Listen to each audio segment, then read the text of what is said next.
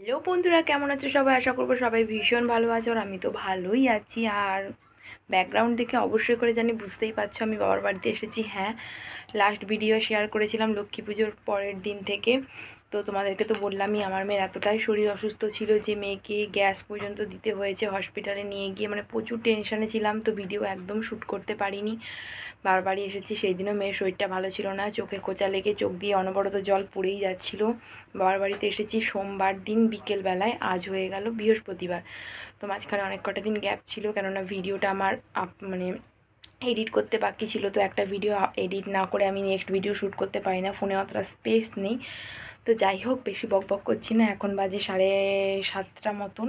আমি টিভি দেখছিলাম, জগদ্ধাত্রী দেখছিলাম। আমার ভীষণ প্রিয় একটা সিরিয়াল তো তোমরা কারা কারা জগদ্ধাত্রী দেখো, আমাকে কিন্তু অবশ্যই করে কমেন্ট বক্সে জানিও।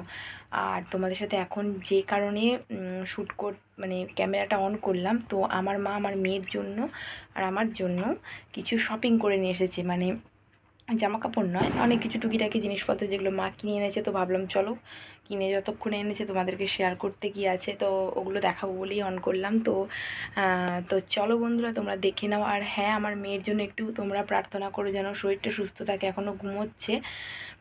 ঘুমের জন্য খুব কান্নাকাটি করছিল, তো ওকে ঘুম পাড়িয়ে দিয়েছি। খাওয়ালাম, সন্ধ্যাবেলা সুজি খেয়েছে ও। রুটি করতে হবে। আর মা মেয়ের পাশে বসে আছে। মশা তো খুব। মেয়ের পাশে বসে বসে টিভি দেখছে। তো চলো, আমি এ ঘরে এসেছি।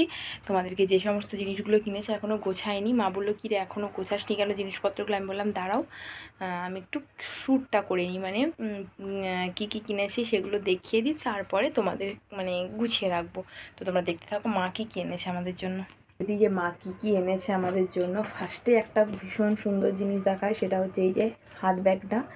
তো এরকম সেম হাত ব্যাগ, ডিজাইনটা একটু আলাদা। আমার মা আগের বারে আমাদের বাড়ি যখন গেছিল আমাকে দিয়ে এসেছিল, কিন্তু আমার মেয়ে এতটাই বদমাস দাঁত দিয়ে এটাকে ভেঙে ফেলেছে। তো মা আরও একটা কিনেছে। আমার মেয়ের জন্য এতটুকু একটা সাইড ব্যাগও কিনেছে পুতুলদা তোমাদেরকে শেষে দেখাবো তো এখন এখানে আমার কাছে নেই। আর আমার মেয়ের জন্য দেখতে পাচ্ছ, এই ক্রিমটা কিনেছে জনসনের। এটা ওর ফুল বডিতেও ইউজ করব মুখে তো অবশ্যই ইউজ করব, যেহেতু ঠান্ডা পড়ছে। আর আমার মেয়েকে ডাবরের লাল, এই লাল তেলটা আমি মাখাই, তো ওটা বাড়ি থেকে নিয়ে এসেছিলাম, অল্প ছিল, শেষ হয়ে গেছিল। তো মা এটা নিয়ে এসেছে, বড়টা, বড় প্যাকেটটা এনেছে। মেয়েকে মাঝখানে যখন খুব ঠান্ডা লেগেছিলো তখন সর্ষের তেলই গরম করে লাগাচ্ছিলাম। তো সর্ষের তেল লাগালে ওর গায়ে র্যাশ বেরোয়, কিন্তু বড়রা যখন বলে যে প্রচুর ঠান্ডা লেগে যায়, তখন অন্য কিছু না ইউজ করে বুকে বুকে, পিঠে এগুলো তো সর্ষের তেল লাগানোটা খুব ভালো। তো তখনই মানে আমার শাশুড়ি মা ওর লাগিয়ে দিত, আমিও রাত্রেবেলা মালিশ করে দিতাম, তো খুব আরাম পেতো। তো কিন্তু সারা বছর আমি ওর ওর গোর ফুল বডিতে মাথায়, গালে, সমস্ত জায়গায় এই তেলটা ইউজ করি, দেখো। খুব ভালো তোমরা ইউজ করতে পারো, ডাবরের লাল তেল, আয়ুর্বেদিক তেল এটা। এটা এনে দিয়েছে। আর এই যে মেয়ের এই ওষুধটা শেষ হয়ে গেছিল, তো এটা এনে দিয়েছে। এটা খালি বোতলটা আমার নিয়ে গেছিল। আর এই দেখো ভ্যাসলিনের কোকোগ্লো এটা কিন্তু আমার অনেক দিনের কেনার ইচ্ছা ছিল।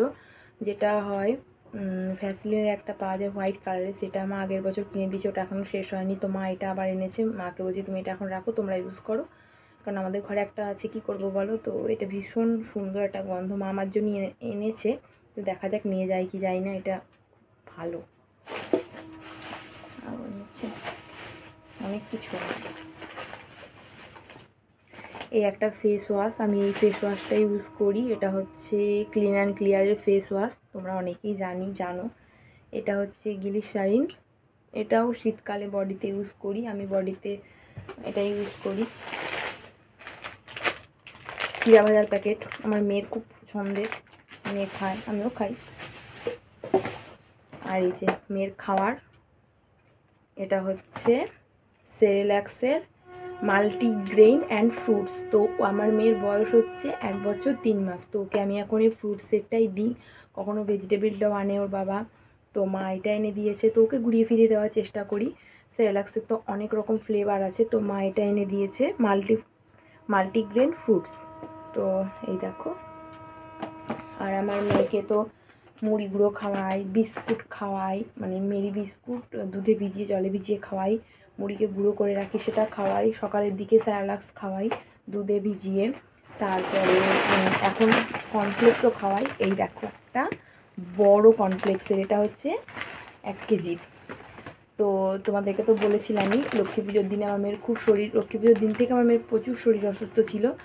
তো তার আগে থেকে ঠান্ডাটা লেগেছিলো, ওষুধ খাচ্ছিলো, কিন্তু লক্ষ্মী পুজোর দিন প্রচুর বাড়াবাড়ি হওয়ার কারণে সেদিন ডাক্তারের কাছে নিয়ে যাই। ও কিছুই খাওয়া দাওয়া করছিল না, তো ওই কর্নফ্লেক্সটা কোনো দিনই খাওয়াইনি কিন্তু তো দোকানে যখন ওষুধ আনতে যাই, তখন যখন আমি কর্নফ্লেক্সটা দেখতে পাই, ওর বাবাও বলে যে, তাহলে নতুনত্ব কিছু যদিও খেতে মানে মুখের স্বাদটা বদলালে যদি খাওয়া দাওয়াটা করে, তো কর্নফ্লেক্স আনা হয়। তো এখন আমার মেয়েকে একবার, দিনে একবার হলো কর্নফ্লেক্সটা আমি গুঁড়ো করে রাখি, কৌটোর মধ্যে মিক্সিতে পুরো গুঁড়ো করে নিই। তো দুধে বিচি, ওটা কিন্তু ভালো খেয়ে নিচ্ছে। তো ওটাও শেষ হয়ে এসেছিল, তাই মায়ের বড় প্যাকেটটা এনে দিয়েছে, দেখো। আমার খুব পছন্দ করে কর্নফ্লেক্স খেতে। তো সকালবেলার দিকে ওকে মুড়ি গুঁড়ো দিই কোনো দিন বিস্কুট দিই। তবে ইদানিং যখন শরীরটা খারাপ, ও মুড়ি গুঁড়োটা খুব একটা খেতে চাইছে না বলে ওকে সকালের দিকে স্যারালাক্স দিই। তারপরে মানে সাড়ে সাতটার দিকেও স্যারালাক্স খেলো একবার অল্প করে। তারপরে সাড়ে নটা থেকে পৌনে দশটার মধ্যে ওকে দিই দুধ কর্নফ্লেক্স। তারপরে ঘুম, ঘুমিয়ে যায়। তারপরে আর মাঝখানে কিছু খায় না, ঘুম থেকে উঠে দু থেকে তিন ঝিনুক ওকে জল খাওয়াই। খাওয়ার খাওয়ার দাওয়ার খাওয়ানোর পর তো জল ওকে খাওয়াই। তারপরে একদম সাড়ে বারোটার দিকে ওকে খাইয়ে স্নান করিয়ে নিই। তারপরে আমাদের যেহেতু শুতে শুতে অনেকটা দেরি হয় মানে খাওয়া দাওয়ার সাথে সাথে তোমরা জানো মানে আমি শ্বশুরবাড়ির কথা বলছি, তিনটে থেকে সাড়ে তিনটে বাজেই। তো সাড়ে তিনটের দিকে ওকে ওকে একবার এরকম সাইজের বোতলে তিরিশ এমএল বা কখনো যদি ও ভাত না খায় তাহলে ষাট এমএলও দিই, কখনো হান্ড্রেড এমএলও খায় মানে এরকম মাপের ও দুধ খায়। দুধ খেয়ে কোনো দিন ঘুমায় কোনো দিন ঘুমায় না।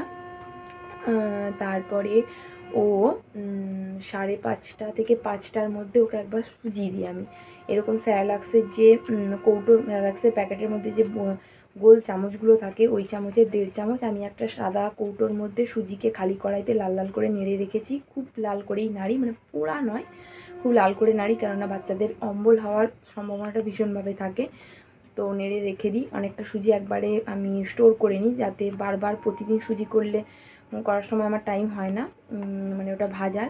তো ওই স্যালাক্সের খাপের মধ্যে যে গোল চামচ থাকে, ওই চামচের দেড় চামচ আমি সুজি করি। আর একটু আমি ওকে একটু মানে লিকুইড টাইপেরই খাবার দিই, কেননা ও গিলতে চায় না। যে কোনো খাবার ওকে যদি একটু ঠিক করে দিই, মোটা, ঘনত্বটা যদি বেশি হয়ে যায়, ও খেতে চায় না। ও গিলতেই চায় না মুখে করে জমিয়ে রেখে দেবে। ওই জন্য একটু জল মানে একটু লিকুইড টাইপের করে ওকে ঘোরাফেরা করতে থাকে, ঝিনুকে করে আমি ওকে খাইয়ে দিই। তো যাই হোক, ও খায় সেটা। যদি অনেকটা মানে দেখি ওর পেটটা ভর্তি ভর্তি, তো তাহলে ওকে অর্ধেকটা খাই আবার সাতটার দিকে অর্ধেকটা খাই তারপরে একদম নটা থেকে সাড়ে নটার মধ্যে ও খায় দুধ রুটি। তো এটাই হচ্ছে আমার মেয়ের ডেলি রুটিন আর মাঝখানে ও ফল খেত, ও আপেল নয়, কলা কিছু না কিছু খেত, কিন্তু এখন একদম খেতে চায় না, ওকে জোর জবরদস্তি খাওয়ানো হয়। তো যাই হোক, শরীরটা খারাপ হওয়ার পর থেকে ওকে দেওয়া হয়নি। তো ভাবছি আবার ভাতটা খাওয়ানোর পরে দুধ না দিয়ে ওকে ভাবছি তিনটে থেকে সাড়ে তিনটের দিকে একবার করে এক, যে কোনো এক রকমের ফল খাওয়াবো। তো যদি খাওয়াই তোমার সাথে নিশ্চয়ই শেয়ার করব। তো যাই হোক, আমার মা এই সমস্ত জিনিসপত্রই কিনেছে। আর একটা জিনিস, এই যে একটা বডি স্প্রে এনেছে। এটা যদিও আমার জন্য নয় মানে এখানে এলে ইউজ করব সেই জন্যই। তো আমি যতবারই বাড়ির থেকে আসি বডি স্প্রে আনতে ভুলে যাই। তাই মা একটা কিনে রেখেছে যে আমরা যখন এখানে আসব ইউজ করতে পারব। আমার হাজব্যান্ডের বেশি লাগে। কিন্তু এবারে মানে ভাগ্যবশত আমার মনে ছিল বডি স্প্রের কথা, তো বডি স্প্রেটা আমি নিয়ে এসেছি। আর এখানে এসে দেখি মাও কিনে রেখেছে। যাই হোক, ভালোই হলো, তাই না? তো যাই হোক বন্ধুরা, ভিডিওটা আজকে আমি এখানে এন্ড করে দিচ্ছি। কারণ আমার টুকিটাকি কিছু কাজকর্ম আছে ঘর দরগুলো একটু পরিষ্কার পরিচ্ছন্ন করব মা এখন কাজ বাজ করেছে, টিভি দেখছে, মা দেখুক, রুটিও করতে হবে মেয়ের জন্য। তো যাই হোক, মাও কর, মাই করবে হয়তো। তো যাই হোক, আজকের ভিডিওটা এখানেই এড করে দিচ্ছি। কিন্তু হ্যাঁ ব্লগটা কিন্তু এখানে শেষ নয়, কালকে কালকে সকাল থেকে আমি আমার ভিডিওটা স্টার্ট করে দেবো।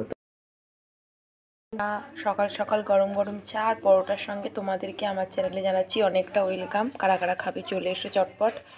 এখন হচ্ছে সাড়ে সাতটা বাজে, আমি এই জাস্ট ঘুমের থেকে উঠে একটু ফ্রেশ হলাম। মেয়েকে ফ্রেশ করিয়েছি। আমার সেজে মামির কাছে দিয়ে এসেছি। ওকে ঘরে এনে মধু, তুলসী পাতা খাওয়াবো। তার আগে ভাবলাম আমি চাটা খেয়ে নিই, কেননা আমাকে চা খেতে দেবেই না। আর দেখতে পাচ্ছ পরোটা, যেটা হচ্ছে কালকে রাতে মা আমার জন্য বানিয়ে রেখেছে। বাসি পরোটা খেতে আমি ভীষণ ভালোবাসি জানি স্বা- স্বাস্থ্যের পক্ষে ক্ষতিকারক, কিন্তু এক আধ দিন চলে, তাই না? তো আমি এখন চা আর পরোটাটা খেয়ে নিয়ে মেয়েকে তুলসী পাতা খাওয়ানোর আধ ঘণ্টা পরে আবার খাওয়ার খাওয়াতে হবে। তো তোমরা দেখতে থাকো ভিডিওটা। বন্ধুরা এখানে দেখতে পাচ্ছ মশারি টশারি সব মানে অগোছালো হয়েই রয়েছে। মা গোছাবে বলছিল, মেয়ে ঘুমিয়েছিল, ওই জন্য গোছাতে পারেনি। তো যাই হোক, এখন আমি গুছিয়ে দেব। বিছানাটা চটপট করে গুছিয়ে নেব। ভাবছি কয়েকটা রিলস ভিডিও করব। তো দেখি চুড়িদার পরে ভাবছি রিলস ভিডিও করব। তো যাই হোক বন্ধুরা, তোমরা দেখতে থাকো। আর আমার মেয়ে সব সময়ের মতনই বদমাইশি করছে, ওর বদমাইশি করে চলুক, ওর কাজ করে চলুক। আমি চটপট করে আমার দিকে দেখছে। আমি চটপট করে বিছানাটা গুছিয়ে নিই। দেখো বন্ধুরা, আমি এখন কিছু রিলস ভিডিও করছিলাম, আর মেয়ে এখন প্রচুর কান্নাকাটি করছে, তো আমি এখন চেঞ্জ করে নিই, চটপট করে, তারপরে মেয়েকে খাইয়ে এখন ঘুম পাড়াতে হবে, তো এখনের মতন টাটা, আবার আসছি খানিক্ষণ পর।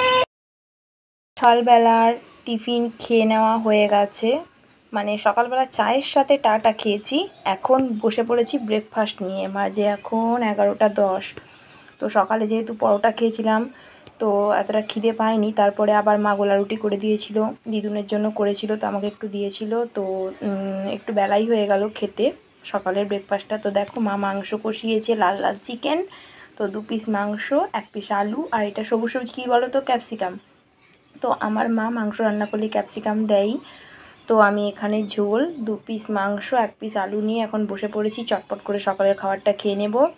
মা, মেয়েকে এখন তেল মাখাচ্ছে, তো ওর গরম জলটা বসাবো। বাইরের রোদে জল দেওয়া আছে ঠিকই, কিন্তু খুব একটা আর বাইরে রোদ নেই, তাই গরম হয়নি। চটপট করে মেয়েকে স্নান করে নিজেও স্নানটা করে নেব।